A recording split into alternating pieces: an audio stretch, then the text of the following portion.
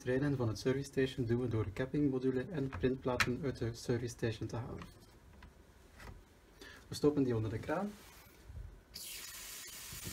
en laten het water lopen totdat het water volledig proper is, dat alle inkt uit de capping station verdwenen is.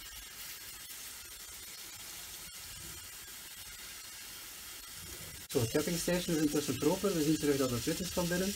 We gaan nu de printplaten nemen, we leggen dit even langs de kant en laten uitdrogen. We nemen nu het volgende onderdeel en steken we ook onder de kraan totdat hij volledig proper is. De printplaten is nu ook gereinigd. Dus die laten we ook even langs de kant om uit te drogen. En als laatste onderdeel kunnen we eventueel nog de bak waarin de onderdelen zelf zitten, kunnen we ook gaan uitkuisen. De wipermotor zelf, die gaan we nooit reinigen, dat is een vervangingsonderdeel. Dus om de bak te kunnen reinigen, dienen we de wipermotor los te halen.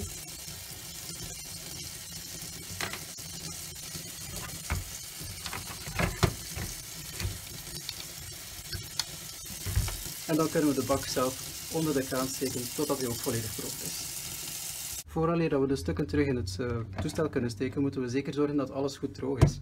Dus we gaan die, al het overtollige water er proberen uit te krijgen. Um, let er ook op, deze kant die moet aan het veeltje zitten van uw service station, aan deze kant. Dus die leggen we erop. En dan kan je nu met een droog doekje kan je echt in die mond gaan kruipen om alle overtollige water gaan uit te halen. Je kruipt daar gewoon in, totdat hij volledig droog is. Als hij nog te nat is, die maakt contact met de printkop en dan gaat hij beginnen mengen met de inkt. Gaat uw inkt veel te lopend worden en ga je vlekken krijgen op uw etiketten. Nadien leg je ook je printplaten er terug in, hetzelfde verhaal. Ook zorgen dat die volledig proper is, helemaal droog. En dan de wipermotor er terug in stoppen.